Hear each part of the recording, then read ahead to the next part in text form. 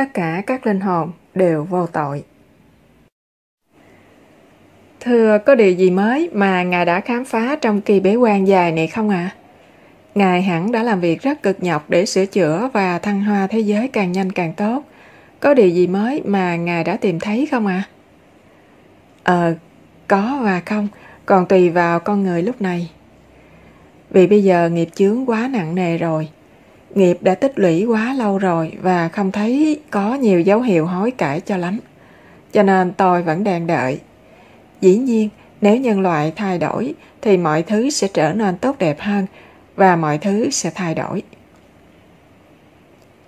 Dịch bệnh COVID-19 hiện nay đang ảnh hưởng toàn thế giới mà chưa từng thấy trước đây, nhưng dường như không ai thật sự nhận ra giải pháp. Và nếu giả sử toàn thế giới ăn thuần chay ngay lập tức, thì virus sẽ biến mất nhanh đến thế nào ạ? À? Rất nhanh, nhưng con người họ đang nỗ lực tìm những giải pháp mà không phải ăn thuần chay. Họ cũng có thể tìm ra được gì đó, có thể, nhưng tôi không muốn nói gì cả, bởi vì họ sẽ dựa vào đó, rồi họ sẽ không sám hối. Và mọi chuyện sẽ quay trở lại con số không lần nữa, và sẽ có virus khác nữa. Sẽ có những vấn đề khác xảy ra sau này.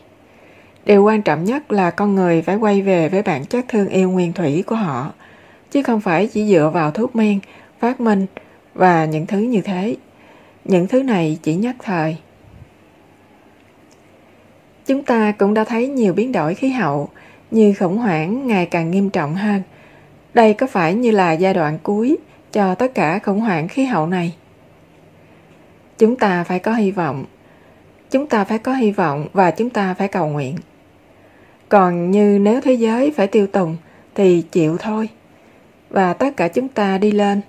Tôi chỉ thấy tiếc cho con người và các chúng sinh khác vẫn chưa hiểu.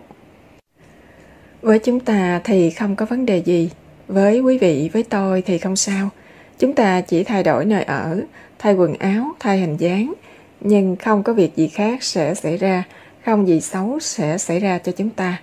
Chúng ta sẽ về nhà. Gần đây có rất nhiều động vật, cây cối và khu rừng đã hy sinh chết thay cho con người. Cho nên chúng ta mới còn ở đây. Nhưng đó là sự khác biệt giữa hy sinh tự nguyện và cái chết bị cưỡng ép với kiểu giết hại và tàn sát tàn bạo và giả man đến vậy. Thật kinh khủng là con người làm ra điều đó bởi vì họ sẽ nhận lại sự đối xử tương tự. Chỉ có điều con người sẽ nhận lại gấp bội và gấp bội phần đau khổ so với những gì họ đã gây ra cho động vật ngay lúc này. Gần đây có nhiều vụ cháy rừng và hàng tỷ động vật đã chết. Họ đã làm điều đó một cách tình nguyện chỉ để hy sinh cho nhân loại để chúng ta có thời gian, có thêm thời gian để thức tỉnh. Tôi đã cầu xin họ. Nhưng tôi không ngờ là họ sẽ hy sinh theo cách này. Ý tôi là đừng trả thù con người Hãy bảo vệ con người bởi vì con người làm lạc. Họ bị đào độc bởi đủ thứ thói quen và ảnh hưởng của ma quỷ. Vì vậy mà tôi cầu xin thiên nhiên, xin hãy khoan dung, hãy bảo vệ con người. Nhưng tôi không nghĩ rằng họ bảo vệ con người theo cách này bằng cách hy sinh tới hàng tỷ mạng sống họ. Cây cối và động vật họ đã làm thế đó. Nếu không, sẽ có nhiều người chết hơn thay vì con người chết hoặc bị hủy diệt, động vật, cây cối, núi non và tất cả chúng sinh, họ hy sinh thay cho con người. Nếu họ hy sinh, tất nhiên việc hy sinh đó sẽ hữu ích. Nhưng nếu chúng ta buộc họ phải chết hoặc giết họ để hiến tế thì khác. Điều đó không tốt.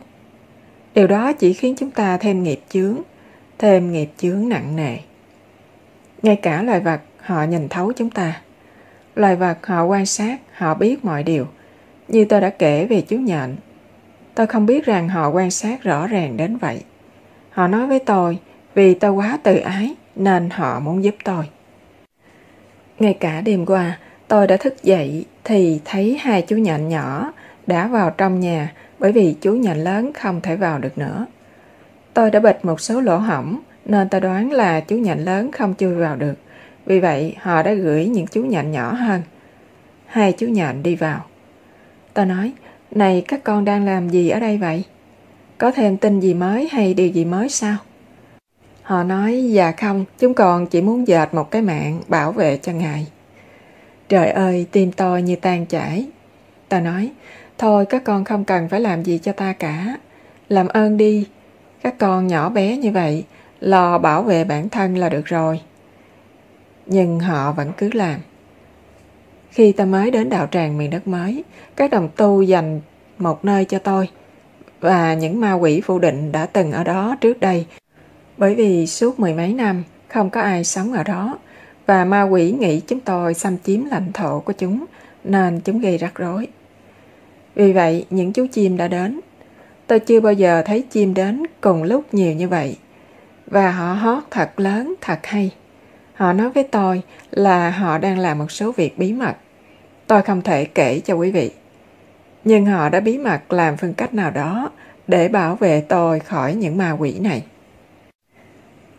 Rồi sóc cũng đến và chúc tôi an lành. Họ chúc tôi được tự do, hạnh phúc, an toàn và bình yên.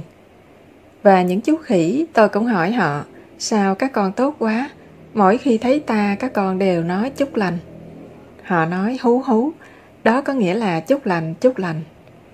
Họ nói chúc ngài khỏe mạnh trong ngôn ngữ của chúng ta, nhưng ngôn ngữ của họ ngắn hơn, họ không nói nhiều.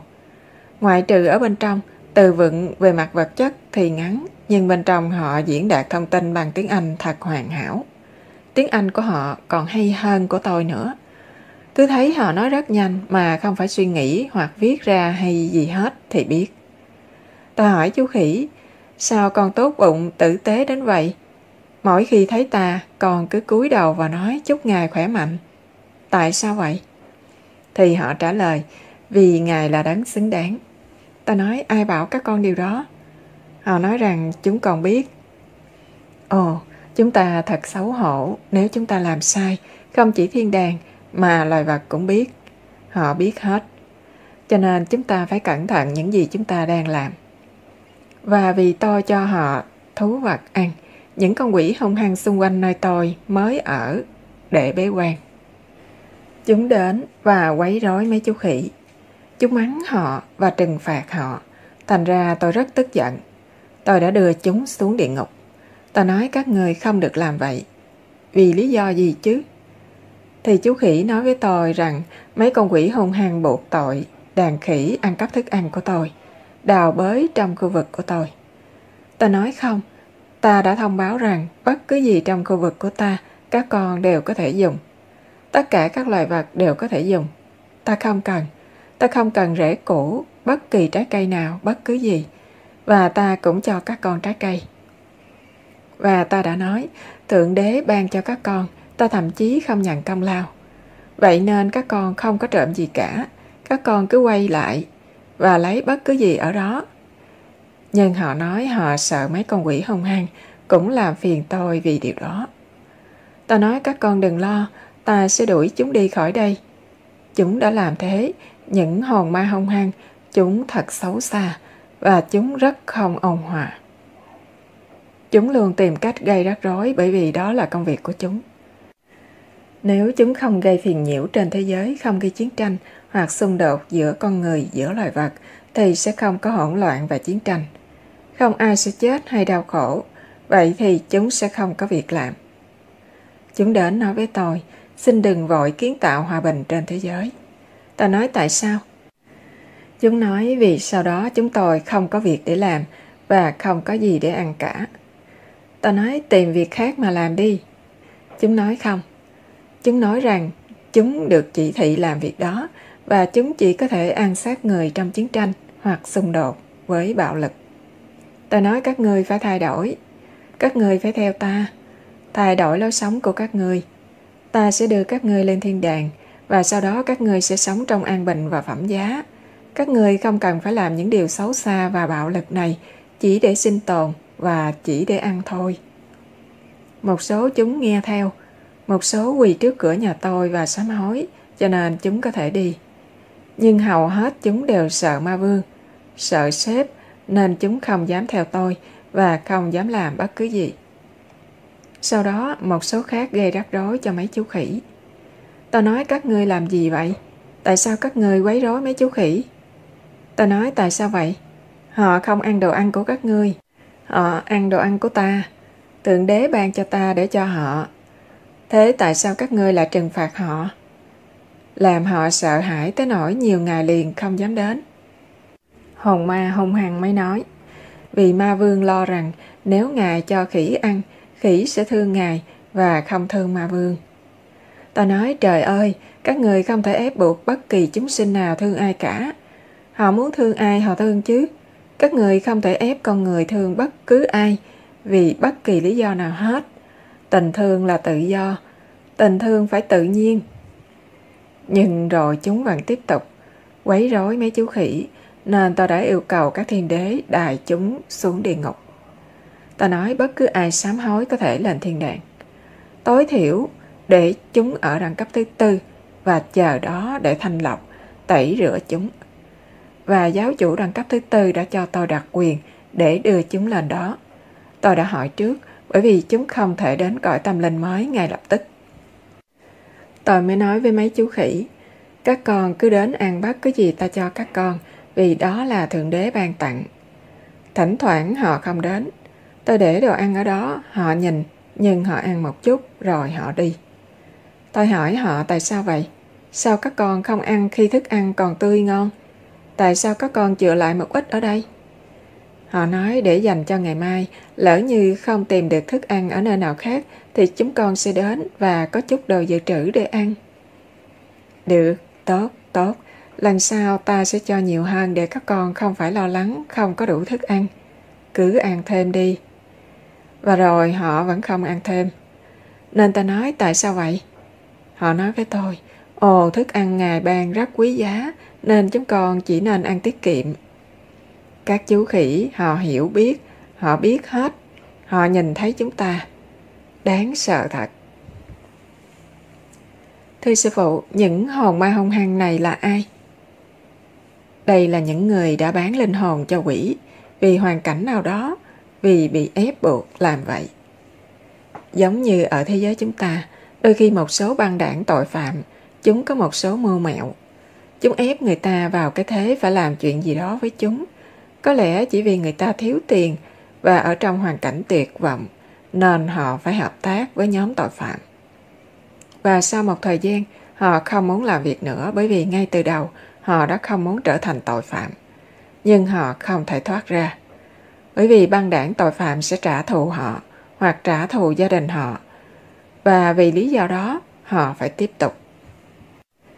Giống với những thực thể hung hăng này, chúng như là cấp chỉ huy quân đội hoặc địa vị tương tự mà chuyên ra lệnh cho người ta đi ra chiến đấu với người khác, đánh nhau hoặc có tính khí nóng nảy. Những người có tính khí nóng nảy đôi khi bị những hồn ma hung hăng này lợi dụng, khiến họ tức giận hơn và rồi ra ngoài đánh đấm hoặc giết chóc. Và rồi ma quỷ hưởng lợi từ đó. Và vì linh hồn đó đã đi trên con đường này rồi nên họ không thể quay đầu. Vì vậy họ đã trở thành bộ hạ của quỷ dữ. Hoặc người ta chỉ cần đồng ý làm một chuyện gì đó để họ trở nên phát đạt hơn và rồi dần dần họ không thể thoát ra được nữa. Những hồn ma này trao đổi sự hiểu biết rõ hơn của chúng để hưởng lợi trên sự đau khổ của người khác. Ví dụ như thế. Hoặc gây chiến tranh để trục lợi. Và đó là cách mà chúng tiếp tục trở thành những hồn ma hung hăng và làm việc cho ma vương. Và sau một thời gian dài, chúng không thể thoát ra được nữa. Cho dù muốn thoát ra, chúng sợ. Thưa sư phụ, có bao nhiêu hồn ma hay thực thể hung hăng này tồn tại trong thế giới chúng ta? Hiện tại, hàng triệu. Đó là lý do chúng ta luôn có chiến tranh và xung đột giữa các quốc gia, giữa mọi người, giữa các thành viên trong gia đình, giữa loài vật và giữa con người và loài vật. Hiện tại cho đến hôm nay, hơn 90% đã bị đài xuống địa ngục và một số đã được đưa lên thiên đàng đẳng cấp thứ tư. Chờ chút, tôi đã viết ở đâu đó như con số thực tế là bao nhiêu, nhưng tôi không tìm thấy. Vài ngày trước, mấy chú nhện đến nói với tôi xin hãy vui lên. Lúc đó tôi cảm thấy buồn khi nghĩ về tình trạng của thế giới và những người bị bệnh vào lúc này. Rồi họ đến nói với tôi, xin đừng buồn, xin hãy vui lên, xin hãy tự tại và an toàn. Những hồn ma hung hăng đã trở về địa ngục rồi, 93%. Tôi mới nói cảm ơn mọi sự giúp đỡ, xin cảm ơn Thượng Đế. Đó là vào thứ năm, ngày 26 tháng 3. Tôi có con số thực tế ở đâu đó là có bao nhiêu hồn ma này. Chúng rất rất hung dữ khi tôi mới đến bởi vì chúng nghĩ đây là lãnh thổ của chúng và tôi không được phép ở đây. Và chú nhện nói với tôi, các hồn ma hung hăng thậm chí không muốn ngài ở đây, ngài phải cảnh giác, xin hãy thận trọng. Đó là lần đầu tiên chú đến, chú nhện đó. Những chú nhện khác nói với tôi nhiều điều khác như đừng ở đây và những điều tương tự. Vào những ngày khác, năm khác, tháng khác, không phải chú nhện này mà những chú nhện khác. Chú nhện đang lưới ngay phía trước. Tôi có phòng tắm nhỏ trước hang động và tôi dự định ở đó trong kỳ bế quan ngắn của mình vì nó thuận tiện. Có một căn phòng nhỏ phía trước phòng tắm, rất nhỏ, nhưng có hai phòng. Một phòng bên trong là phòng tắm, phòng bên ngoài trống. Diện tích khoảng một mét vuông, nhưng tôi nghĩ vậy là đủ cho tôi rồi. Tôi chỉ cần thiền. Rồi họ đến và kéo lưới nhện ngay trước nhà tôi. Tôi không vào được. Ta nói với họ, tại sao các con lại làm vậy? Ta phải vào trong. Họ nói không, xin đừng ở đây, không tốt cho ngài, vân vân. Trên thế giới chúng ta có tổng cộng 11 triệu 121.341 hồn ma hung hăng.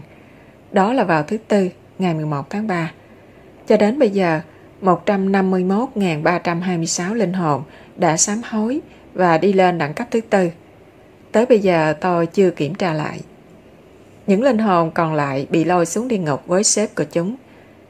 Để gặp sếp ở đó là ma vương. Những linh hồn đang tạm thời ở đẳng cấp thứ tư sẽ được gột rửa, tẩy sạch và sau đó đi đến vùng đất tâm linh mới, vào thời điểm nào đó sau này. Sư phụ khám phá ra những hồn ma hung hăng đó như thế nào à? Làm sao phát hiện ra chúng? Vì chúng gây rắc rối, và sau đó chúng mạo danh Thượng Đế và Minh Sư Tối Thượng hoặc Thiên Đế bảo hộ Nguyên Thủy để nói với tôi mấy điều, và tôi nghĩ không đúng. Tôi chỉ nói điều nhà ngươi nói với ta là không đúng, ngươi là ai? Hãy xưng danh tánh đi. Ý tôi là danh tánh thật. Chức danh của ngươi là gì? Tên ngươi là gì? Ngươi từ đâu đến? Ngươi không phải là thiên đế bảo hộ Eosku. Ngươi không phải là minh sư tối thượng. Ngươi là ai?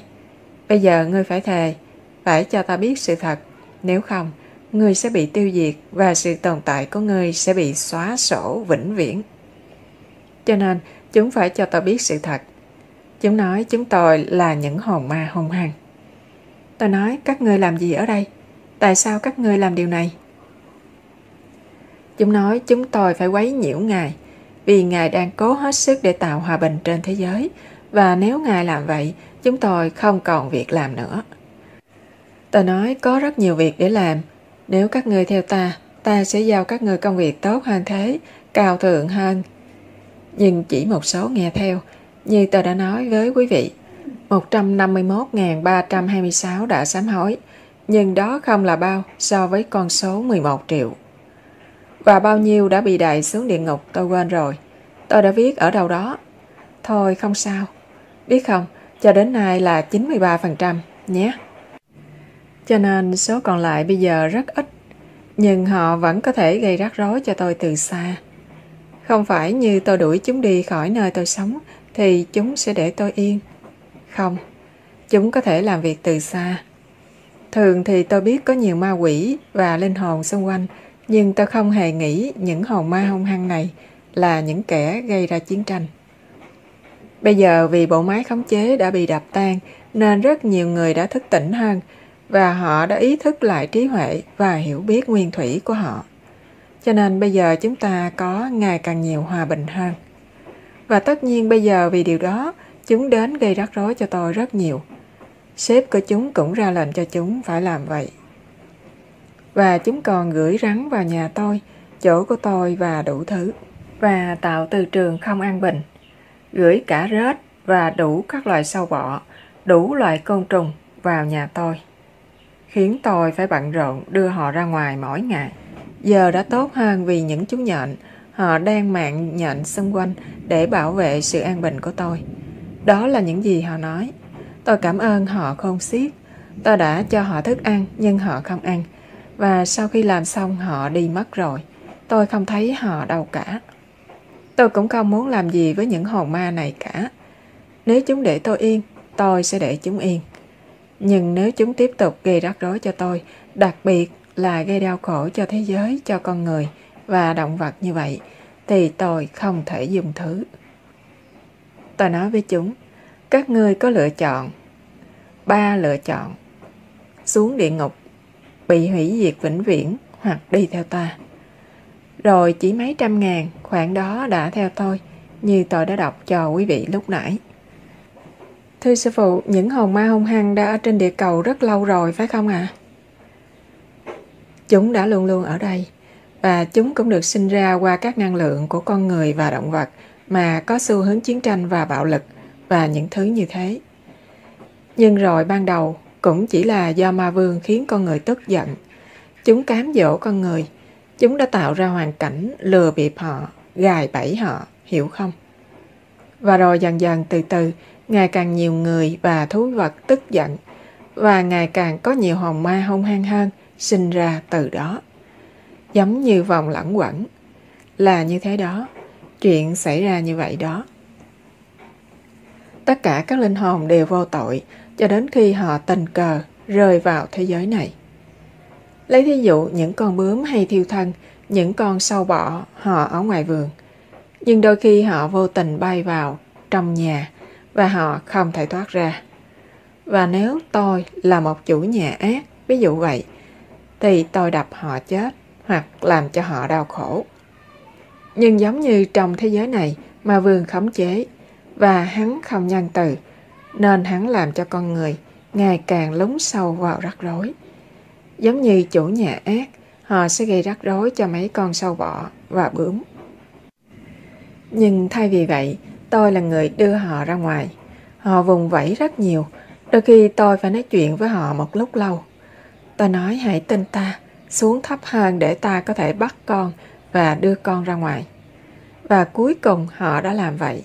Họ đã làm vậy. Tương tự như những linh hồn, họ đang rong chơi và rơi vào cái bẫy này. Giống như một số ngư dân, họ giăng lưới xung quanh và cá thường tự do tự tại bơi trong đại dương. Nhưng tưởng tượng chỉ tấm lưới nhỏ như thế mà họ lại xa vào. Đại dương lớn như thế mà vẫn có thể rơi vào tấm lưới nhỏ đó. Và ngư dân kéo lưới lên và giết cá, làm cho cá đau khổ và thở thoi thóp trước khi chết và chặt họ thành từng mảnh. Tương tự, các linh hồn đều vô tội. Họ tự do, họ rong chơi khắp nơi trong toàn vũ trụ. Nhưng chuyện là gã này, hắn đã tạo ra thế giới này. Nó giống như một cái bẫy, giống như một cái lỗ, và rồi họ xa vào lưới. Sau đó họ bắt đầu vùng vẫy, và rồi vì vùng vẫy họ tự làm mình tổn thương, họ là chết đi và họ phương hại lẫn nhau và cứ thế mãi như một vòng tròn. Bây giờ quý vị hiểu rồi hay chưa? Đó là lý do tôi rất xót thương cho con người và loài vật. Tôi muốn giúp họ vì tôi biết họ vô tội.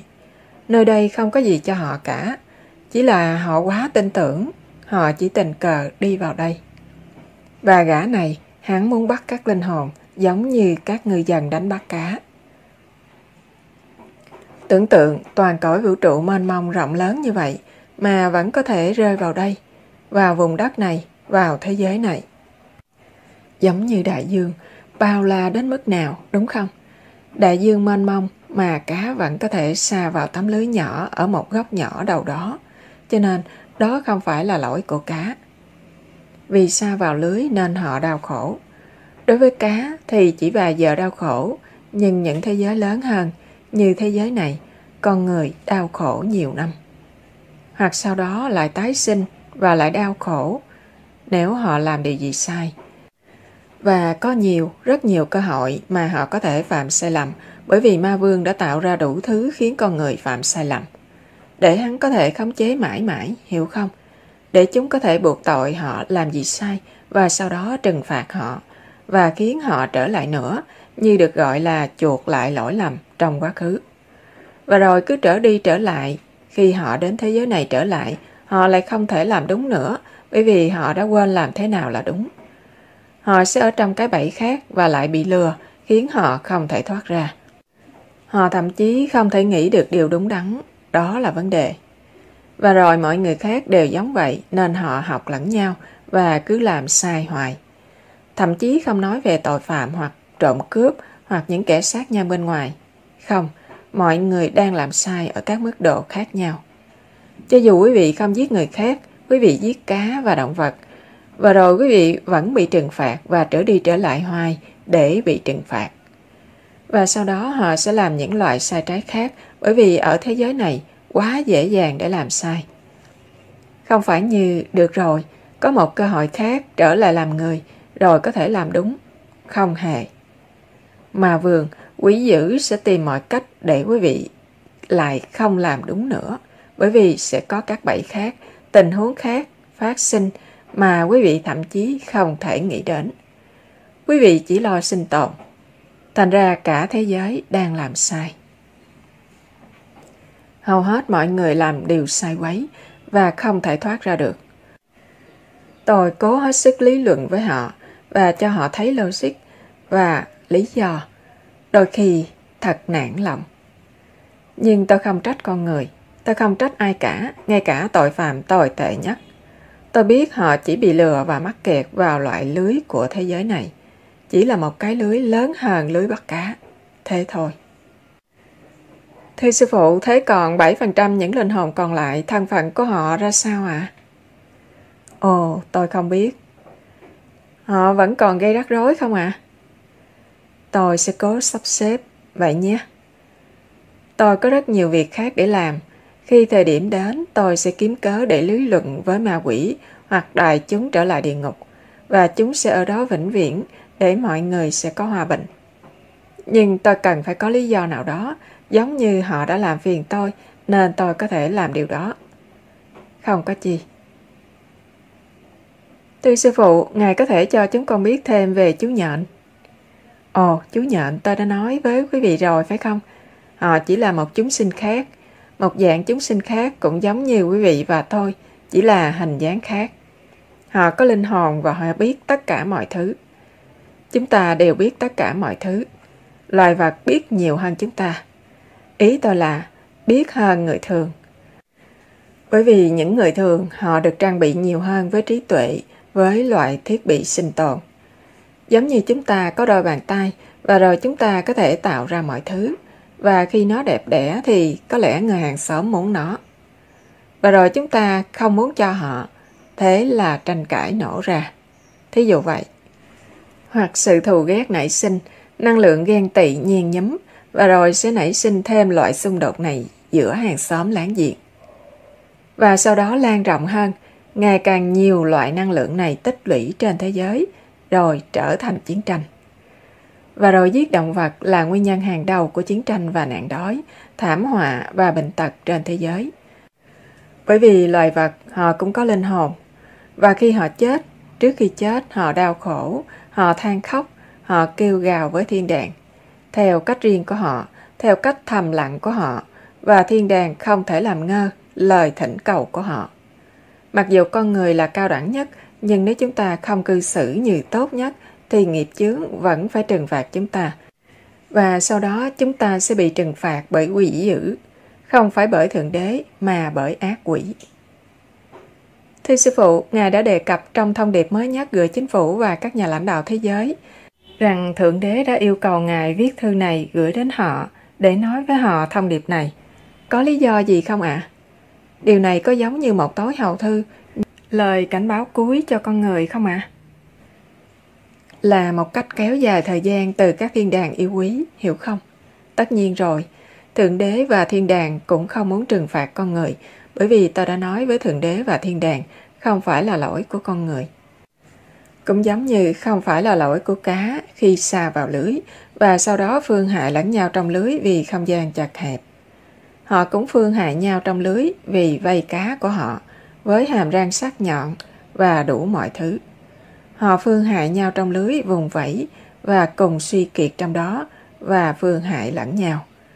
Cho nên đó không phải là lỗi của cá, chỉ là họ rơi vào bẫy. Giống như chúng ta, chúng ta rơi vào thế giới này và rồi bởi vì điều này điều nọ, chúng ta xung đột với nhau vì quyền lợi. Bởi vì nhân tiện chúng ta chỉ giao tiếp với nhau và rồi phương hại lẫn nhau chỉ do hoàn cảnh. Thành ra tôi bảo các thiên đàng, quý vị phải khoan dung, phải kiên nhẫn.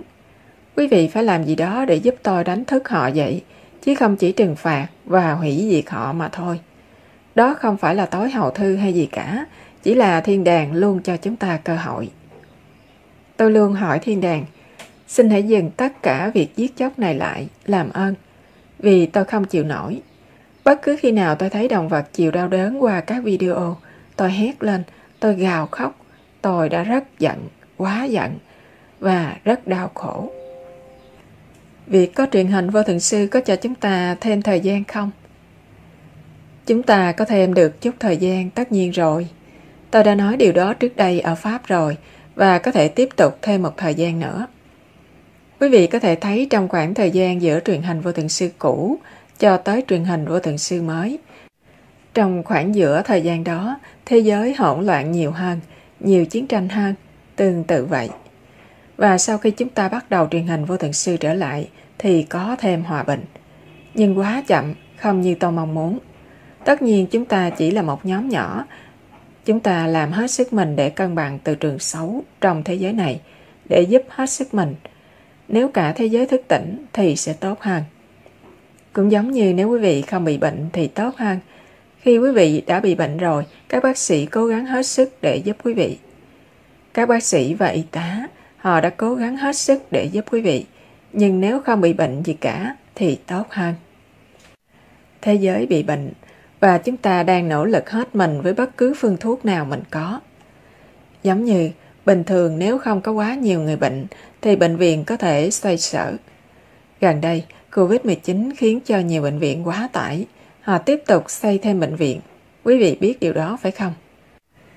Bên cạnh chỉ là một bệnh viện giả chiến để họ có thể chứa những bệnh nhân này vì bệnh viện không còn phòng nữa và thậm chí không được trang bị đầy đủ thiết bị và nhân lực. Thậm chí một số bác sĩ đã chết, một số y tá nhiễm bệnh và cũng chết. Tôi thành thật thương tiếc cho những nhân viên y tế, bác sĩ, y tá này. Họ đang ở tiền tuyến để chống lại dịch bệnh này và tôi cầu nguyện cho họ.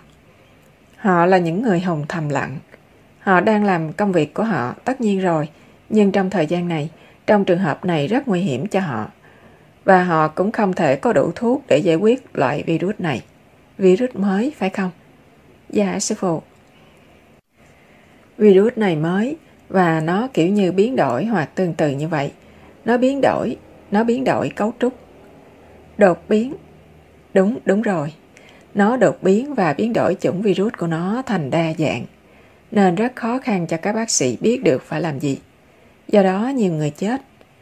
Theo một số nguồn thông tin không chính thức, hàng triệu người đã chết. Quý vị cũng có thể hình dung mà. Cũng không khó tin lắm. Bởi vì cũng có một số người ở những nơi xa xôi họ chết mà thậm chí không biết tại sao. Họ không có thời gian đi khám bác sĩ hay suy nghĩ. Họ chết nhanh chóng. Bởi vì trong những trường hợp này, phổi của quý vị bị thiếu không khí và rồi quý vị cảm thấy như bị ngạt nước. Quý vị không thở được nữa và chỉ chết như thế. Cứu không kịp nữa. Không có thời gian để chữa trị. Chỉ những người có triệu chứng nhẹ hơn và mới nhiễm bệnh thì mới có thể sống sót. Cho đến nay, không có cách chữa trị đúng không? À, tôi nghĩ vậy. Tôi cảm thấy rất rất buồn. Tôi cảm thấy đôi khi, trời ơi, sao họ không lắng nghe lương tâm của chính họ? Nhưng mà tôi không thể đổ lỗi cho con người vì họ đã bị đầu độc từ lâu lắm rồi, hàng ngàn năm rồi, bởi vì từ trường xấu của thế giới này, bởi ảnh hưởng xấu của ma quỷ, cho nên giờ đây họ chỉ biết phấn đấu để sinh tồn mà thôi. Rất khó cho họ hiểu ra sự thật. Nếu không nhờ chúng ta, truyền hình vô thường sư và các đệ tử tốt, đạo đức, cầu nguyện, thiền, thì bầu từ trường đã hoàn toàn tâm tối rồi. Thế giới của chúng ta đã bị diệt vong từ lâu rồi. Và nếu không nhờ sự hy sinh tự nguyện của loài vật, cây cối và các chúng sinh khác để thế mạng cho con người, thì còn nhiều mạng người hơn nữa đã mất đi rồi. Nhiều hơn những gì quý vị nghĩ bây giờ, nhiều hơn những gì họ báo cáo lúc này. Nhiều thảm họa có thể đã giáng xuống nhân loại, nhiều rắc rối hơn, nhiều chết chóc hơn. Nhưng chúng ta thấy có chút ánh sáng le lói ở cuối đường hầm rồi. Như bây giờ, nhiều nhà lãnh đạo đang hòa giải với nhau. Chỉ là chúng ta muốn có thêm an bình cho loài vật, rồi chúng ta sẽ ổn. Master Thanh Hải Vô Thượng Sư trực tuyến cùng nhân viên truyền hành Vô Thượng Sư vào ngày 30 tháng 3 năm 2020.